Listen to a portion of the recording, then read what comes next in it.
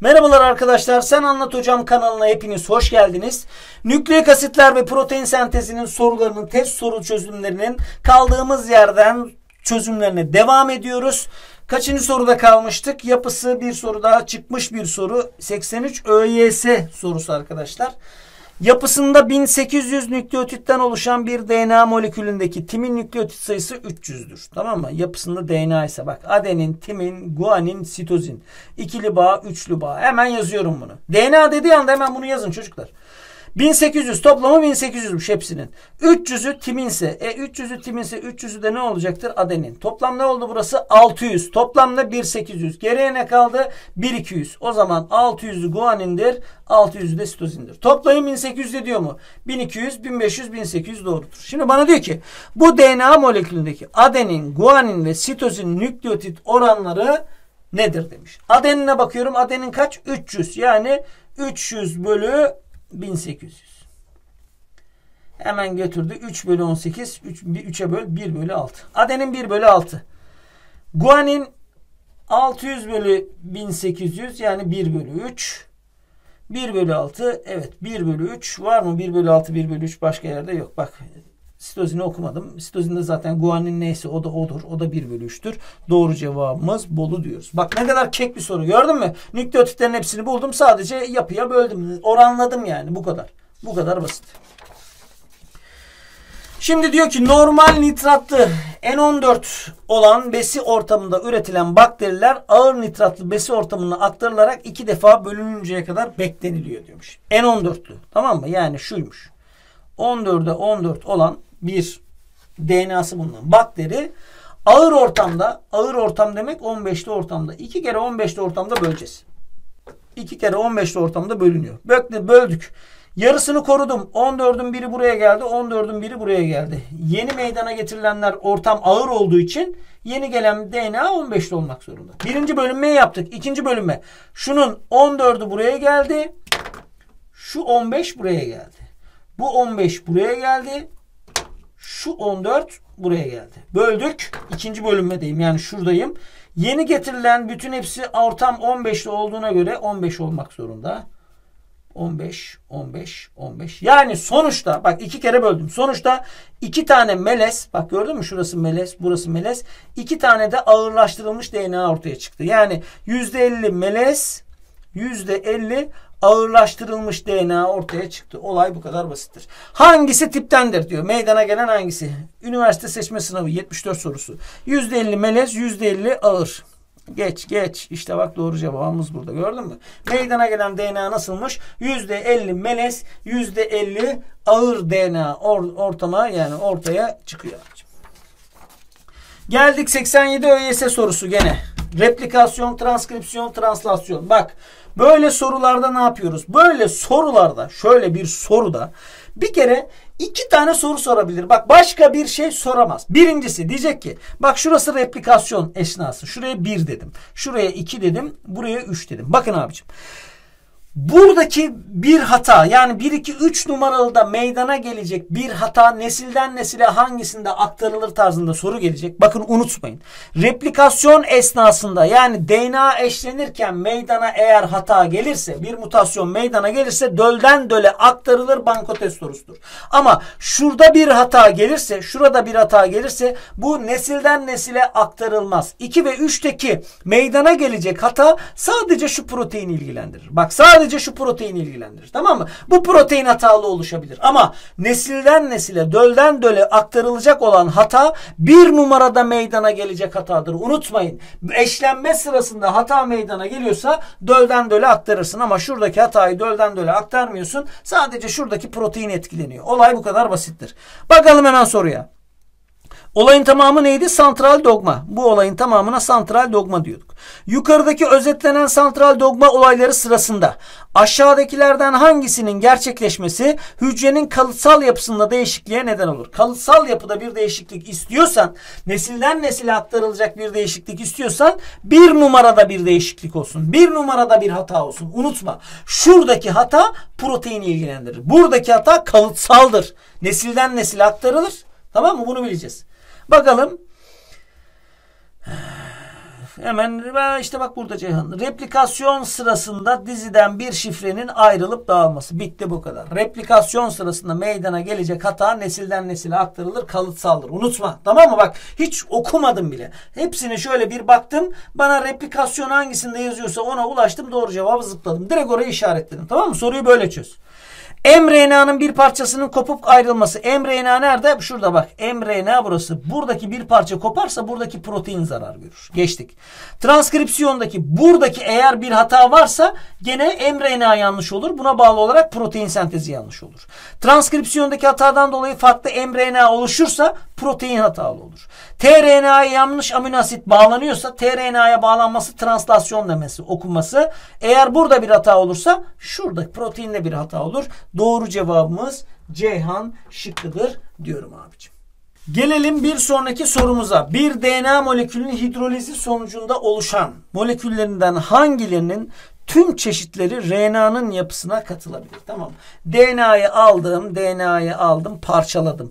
DNA'yı parçalarsam neye kadar parçalanabilirim? Azotlu organik baz, 5 karbonlu şeker, bir de fosfat. Azotlu organik bazı ne? Adenin, timin, guanin, sitozin. Şekeri ne DNA'nın? Deoksiriboz, fosfat fosfat olarak kalıyor. Şimdi RNA'ya katabilmem için şimdi RNA'nın şekeri neydi? Riboz. Bir kere deoksiribozu katamam. Bak hemen geldim. Bir pentozu bir kere at. DNA'daki pentozla RNA'daki pentoz aynı değil. RNA'da riboz var, DNA'da deoksiriboz var. Geçtim. Fosfat her ikisinde de fosfat var. Fosfatı kesinlikle katarım. Tamam mı? RNA'nın yapısına katılabilir diyor veya tüm çeşitleri, ha, tüm çeşitleri DNA'nın yapısına katılabilir diyor veya hani soruda kesinlik olabilir, olabilirli bir soru olabilir bilemiyorum. Tamam Bakalım şimdi. Üç kesinlikle olacak. Üçsüz olanı at geldi. İkili olanı at. Bak doğru cevap çıktı. Yalnız üç olarak çıktı. Organik baz. Organik baz. Adenin katılır. Guanin katılır. Sitozin katılır ama timin katılamaz. Timinin yerine burada ne olmak zorunda? Urasil.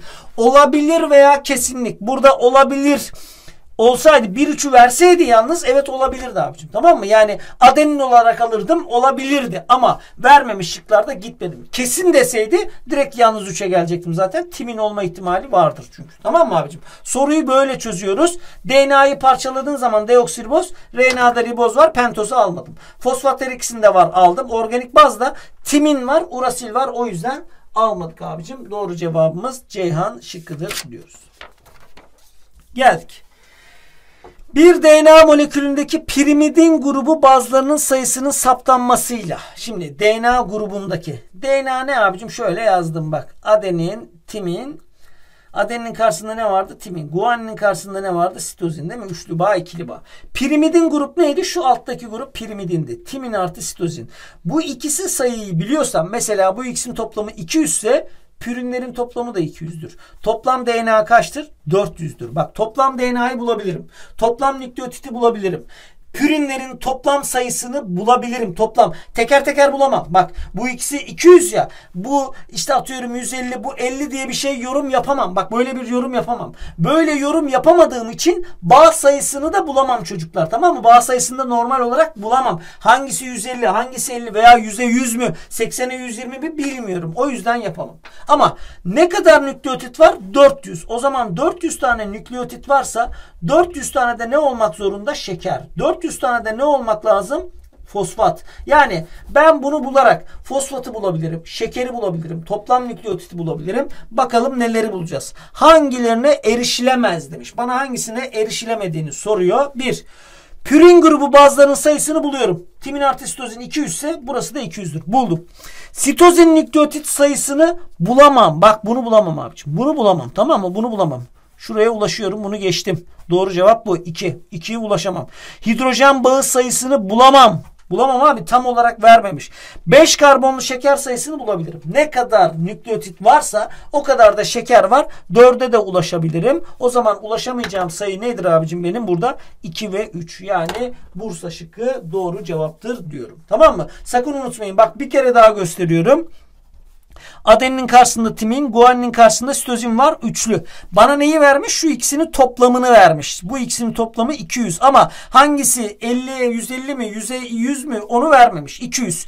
Bunlar pirimidinlerse bunlar da pürinlerdir. Bak 200 tane de pürin vardır. Bu ikisinin toplamı kadar. Pürinlere ulaşabiliyorum. Sayısına ulaşabiliyorum. Çeşidine ulaşamam. Çeşidine ulaşamadığım için bağ sayısını bulamam. Hidrojen bağ sayısını bulamam. Ne kadar guanin ne kadar sitozin bulamam. Toplama ulaşırım. Toplam nükleotit ne kadar? 400 ise 400 tane de şeker, 400 tane de fosfat vardır dedim. Buradan yoluma devam ettim. Bu sayıları da kafamdan kendim attım ona göre. Tamam mı? 2 ve 3 diyorum. Doğru cevabımız Bursa. Geldik bir tane daha sorumuza. Bir tane daha sorumuza. Ne diyor? Bir DNA molekülünün 642 nükleotit içeren anlamlı ipliğinden. Bak şöyle DNA bu değil mi? DNA bu. Şöyle zincirleri açarak çizdim. Şurasında anlamlı zincirinde ne kadar varmış? 642 tane nükleotit. Bak şurada 642. O zaman bunun karşısında da ne vardır? 642 tane nükleotit vardır. Tamam mı? Bunu bildim. 642 nükleotit içeren anlamlı iptin sentezinde bilen mRNA molekülüne ait diyor. Tamam mRNA molekülüne ait. Şimdi geldik. Hangileri hesaplanabilir demiş. Şimdi bir daha söylüyorum. Bana mRNA'yı vermiş pardon. Şurası DNA. DNA. Şurası DNA. Bana verilen şu mRNA. 642 tane mRNA var. mRNA'dan şuradan sentezlenen mRNA'dan şöyle yaptığım zaman DNA'nın anlamlı zincirini bulabilirim. Değil mi? Sonra da DNA'nın diğer tamamlayıcı zincirine ulaşabilirim. Böyle ulaştık. Tamam şimdi geldim. Bana diyor ki şu mRNA molekülüyle alakalı, şu 642 sayısıyla alakalı hangileri hesaplanabilir diyor. Bakın Pürin bölü pirimidin diyor. Abicim bana burada sadece adet vermiş. Kaç tanesi adenin, kaç tanesi timin, kaç tanesi guanin, kaç tanesi sitozin bana bunu vermemiş. Bu yüzden hangisi pürindir, hangisi pirimidindir ben buna ulaşamam.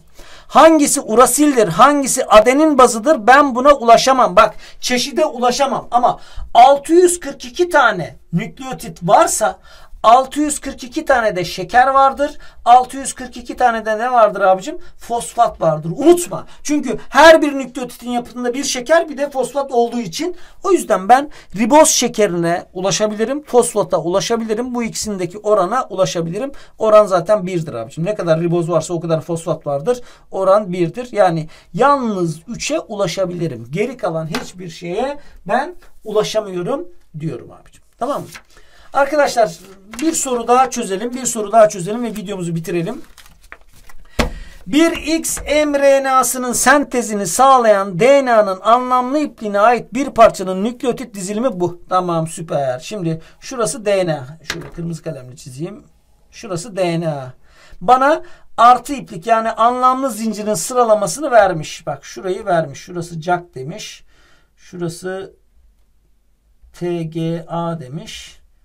Burayı da vermiş. Burası da gat demiş. Tamam mı? Bana bunu vermiş. Yani şöyle yapalım. Caçı vermiş. TGA'yı vermiş. Gat'ı vermiş. Tamam mı? Bana diyor ki bu DNA parçasına uygun olarak üretilen X mRNA'nın nükleotit dizilimi aşağıdakilerden uygun olarak hangilerine uygun olarak üretilen X mRNA parçasına mRNA'sını istiyormuş. Bu kod muydu?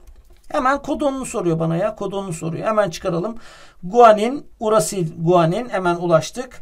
Adenin, sitozin, urasil, sitozin, urasil, adenin abicim bu yani. Guk, acu, cua. Guk, acu, cua. İşte bana verilen sorunun cevabı bu kadar basit abicim. Tamam mı? Geldik bir videomuzun daha sonuna. Sen Anlat Hocam kanalına abone olmayı unutmayın arkadaşlar. Bir sonraki videomuzda tekrardan kaldığımız yerden soru çözümüne devam edeceğiz arkadaşlar.